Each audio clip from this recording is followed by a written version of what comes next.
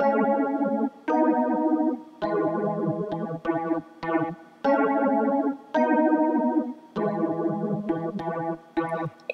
if I had the time, I wouldn't give it to you. Even if I owned a watch, I'd probably hit you with it.